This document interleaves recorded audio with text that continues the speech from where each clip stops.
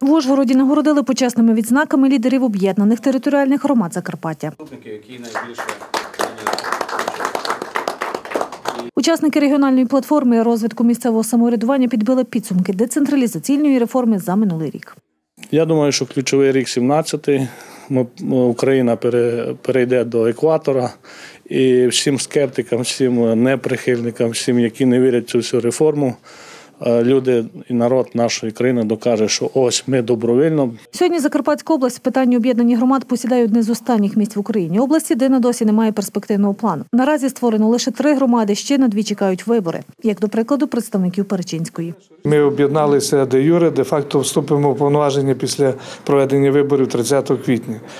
Е, Найбільшою перепоною було те, що е, люди е, на місцях не знали про цю реформу, про повноваження, які будуть в селі.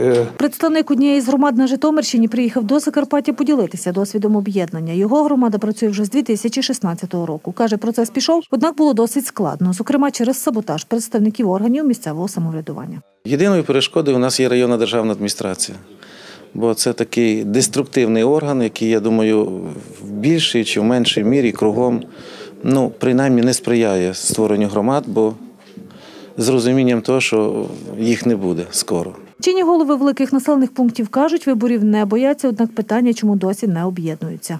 починаємо ініціювання об'єднання.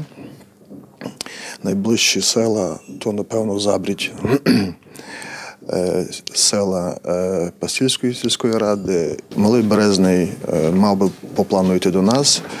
Е, Попередньо згоду вони не дають, тому що у них були досить добрі бюджети від заправок. Не страшно, що страшно. Ми повинні об'єднуватися, тому що це наше завдання робити все можливе для того, щоб громада жила краще. Зараз ми маємо небажання сільських голів йти на об'єднання з нашим містом, тому що вони в першу чергу вбачають в цьому і десь втрату своїх повноважень, переживають за е, ці землі, які їх оточують, і вони мають певний вплив на свої громади, тому вони поки що бажання не мають. Та процес об'єднання це тільки мала частина в децентралізаційній реформі. Законопроекти, які є важливими в процесі об'єднання, наразі відсутні. Нема цих найнеобхідніших законопроектів, які внесені в парламент, одні довше.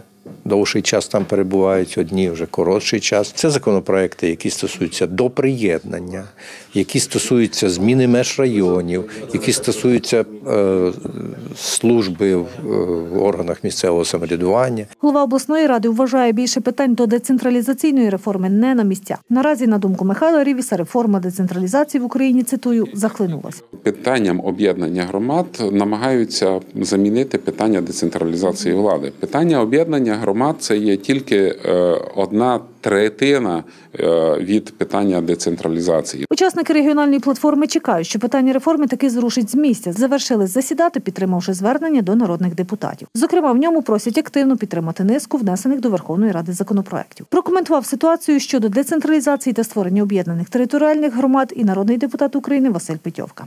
За даними аналітиків, наразі реформа загальмувала і не може розкрити весь свій потенціал. Вказують кілька причин. Серед них і те, що згідно чинної конституції України територіальна громада це добровільне об'єднання у сільську громаду жителів кількох сіл, тобто йде неузгодженість із законом України, який передбачає можливість об'єднуватися не тільки селам, а й селищним радам та містам. Наразі є громади, які бажають об'єднатись, проте перебувають у суміжних районах, областях чи прагнуть об'єднатись з містами обласного значення.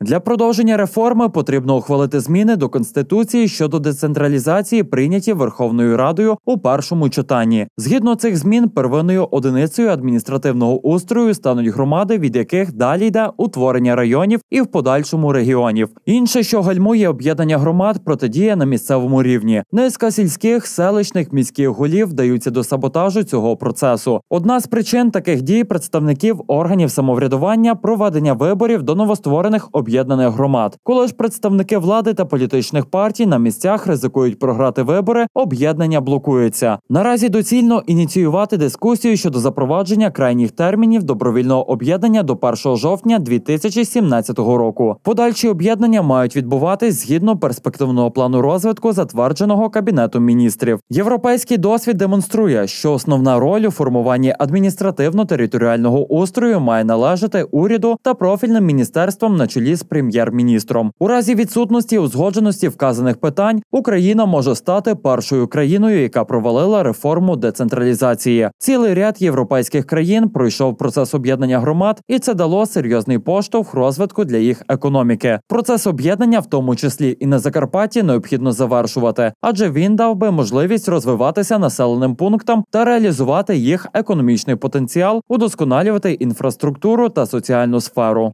На сьогодні проведення децентралізації однією з найефективніших реформ, що впроваджується в Україні з 2014 року. У 2015-му в Україні було створено 159 об'єднаних територіальних громад. У 2016-му ще 198. На початок 2017 року в Україні успішно функціонує 367 об'єднаних територіальних громад. Разом з тим це лише 10% від загальної кількості населених пунктів. На Закарпатті досі створені успішно функціонують лише три територіальні громади.